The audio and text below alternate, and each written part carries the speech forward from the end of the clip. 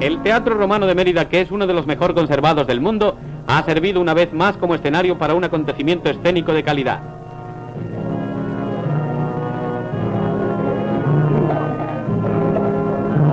Patrocinada por el Ayuntamiento Emeritense, la Diputación de Badajoz y la Dirección General de Cinematografía y Teatro, se ha estrenado una versión de la Orestiada de Esquilo, debida a Pemán y Sánchez Castañer, con música de Cristóbal Halfter, bajo la dirección de José Tamayo.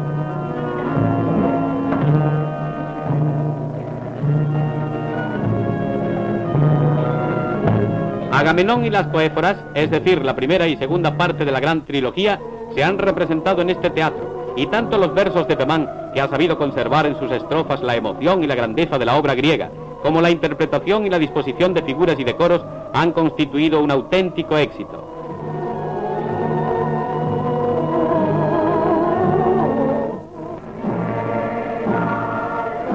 Se efectúa el encuentro de Orestes con su hermana.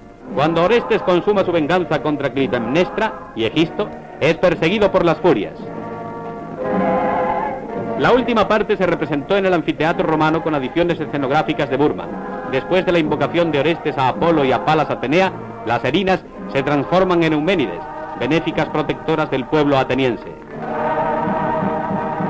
Fueron intérpretes de los papeles principales Irene López Heredia, Carlos Lemos, Asunción Sancho, Berta Riaza y Luisa Sala. Todos ellos con el director de la obra, Pemán y el maestro Halfter, corresponden a los aplausos del público. En el Teatro Romano de Mérida desfilan las legiones. Es el estreno de la versión libre de la tragedia de Cervantes, Numancia, hecha por José María Pemán y Francisco Sánchez Castañer, con fondos musicales del maestro Rodrigo. Escipión es encarnado por el primer actor Carlos Lemos. La soberbia y espectacular representación ha sido dirigida por José Tamayo y patrocinada por la Diputación de Badajoz, el Ayuntamiento de Mérida y las Direcciones Generales de Cinematografía y Teatro y Bellas Artes.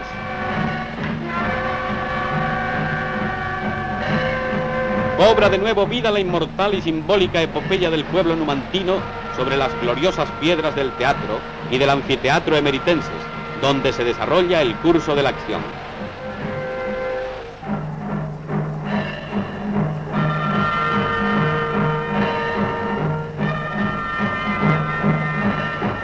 Desfilan los cortejos al resplandor de las antorchas y los espectadores asisten conmovidos al sacrificio de los numantinos, que después de 20 años de resistencia incendian la ciudad y se arrojan a las llamas antes de ceder al invasor.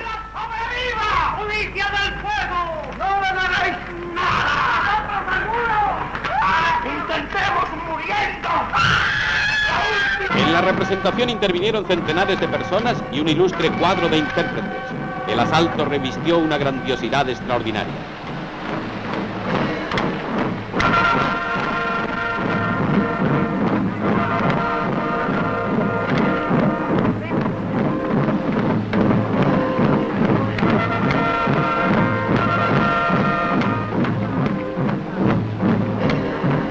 El espectáculo fue de impresionante dramatismo.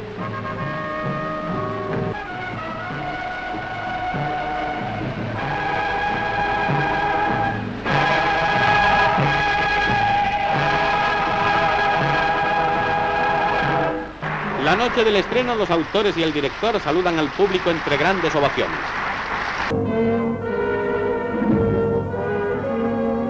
En el magnífico marco romano de Mérida, escenario de otras representaciones memorables, va a actuar la Compañía Nacional Griega del Teatro del Pireo en unas representaciones patrocinadas por la Dirección General de Información y la Diputación Provincial de Badajoz.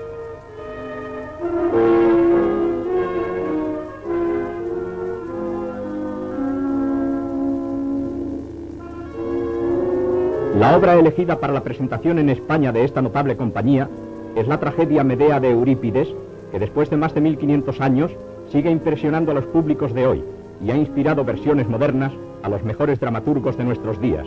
Los actores ultiman los detalles de su caracterización.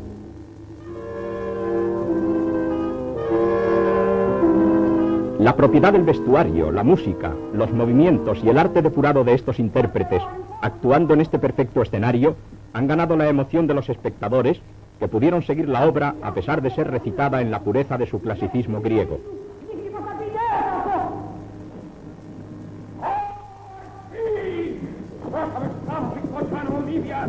El coro, personaje colectivo y vivo, reacciona unánime y con movimientos perfectamente medidos en cada estrofa.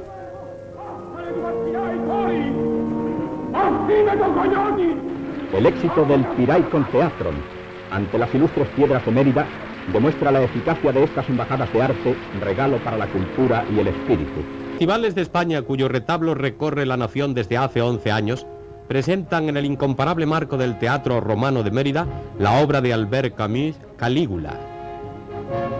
Incorporan los principales personajes el actor José María Rodero, a quien vemos maquillándose, Susana Mara y otros renombrados intérpretes de la compañía Lope de Vega que dirige José Tamayo.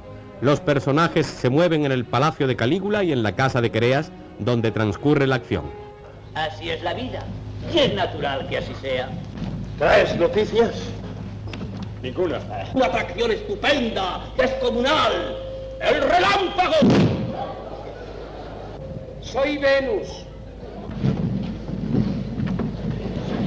Eh, Con esta representación ha logrado un gran éxito el Departamento de Cultura Popular de la Dirección General de Información.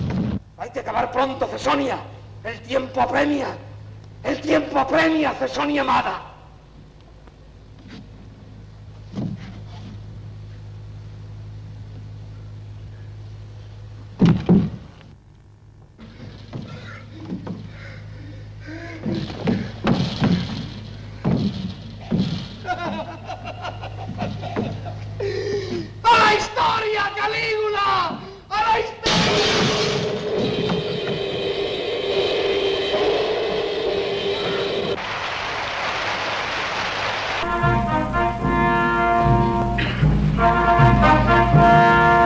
En el Teatro Romano de Mérida y con motivo del bimilenario de la ciudad, se celebraron unas representaciones de La Orestiada, la trilogía de Esquilo, en adaptación de José María Pemán y Francisco Sánchez Castañer.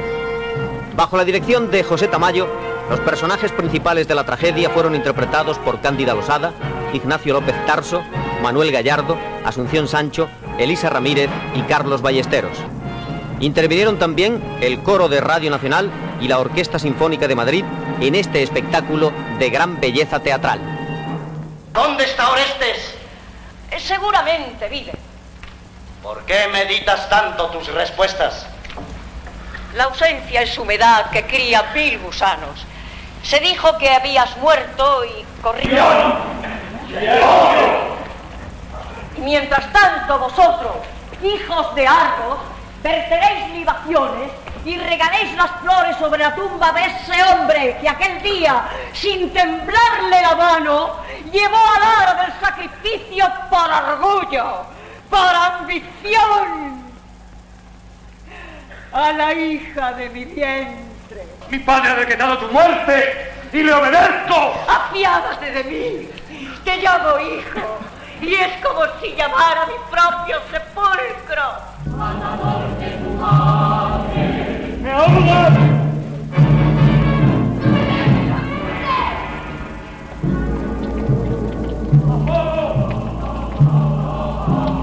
¡Ábreme los caminos de tu mansión de Delfos!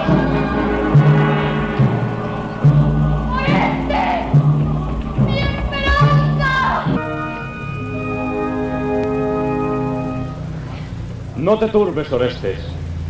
Tu Dios no te abandona. Cerca o lejos de ti, no seré blando con tus enemigos. Venid a la colina de Ares. Venid a la colina que la diosa ha escogido para el honor de la ciudad. En esta piedra, en esta piedra blanca igual que la inocencia, yo absuelvo a Orestes, padre de los dioses, desátalas del mal que las posee.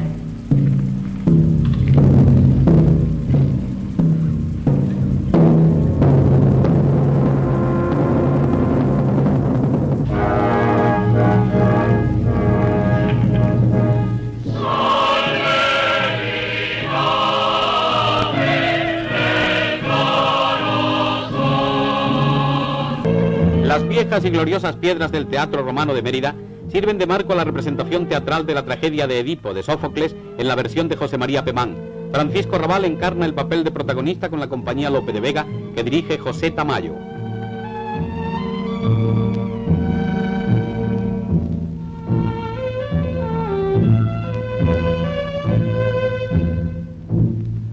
La acción transcurre en Tebas y en el curso de la obra escrita en verso libre se armoniza la solemnidad del tono trágico helénico con la modernidad de la imagen y de la expresión, el secreto de muerte y de maternidad, el fondo conmovedor de pasión y amor, la insensata rebeldía de los mortales contra los obstáculos y vaticinios que valían en el mundo griego lo que en el nuestro significan los providenciales designios, son otros tantos valores de esta revisión del mito clásico que luce aquí con toda su grandeza y espectacularidad.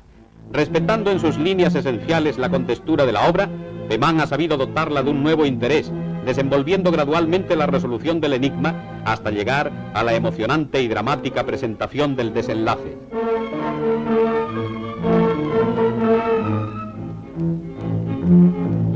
Esta representación, como todas las realizadas en el Teatro Romano por la Diputación de Badajoz y el Ayuntamiento de Mérida, estuvo patrocinada por las Direcciones Generales de Cinematografía y Teatro y Bellas Artes y alcanzó un rotundo éxito.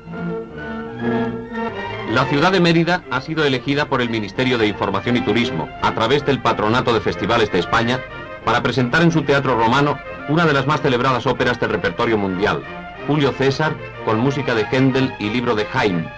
Esta obra fue estrenada en Londres el año 1724. En el escenario clásico se completan los detalles del atrezo exigidos por esta excepcional representación.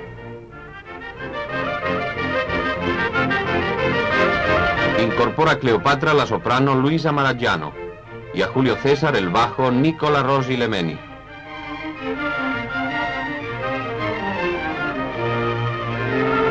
La acción transcurre un siglo antes de Jesucristo, en Egipto, cuando César, después de vencer a Pompeyo en Farsalia, invade el reino del hermano de Cleopatra, Ptolomeo.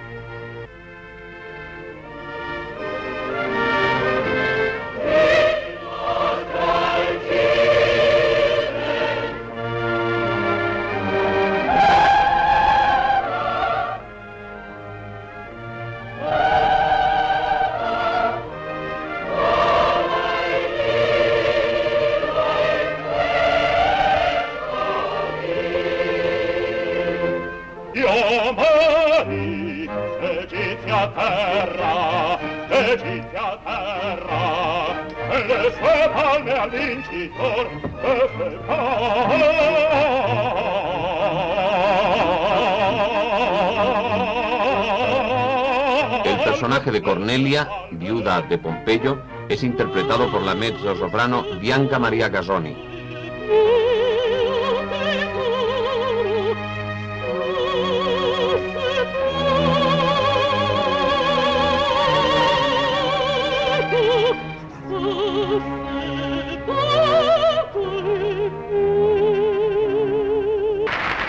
Representación de Julio César fue premiada con grandes aplausos.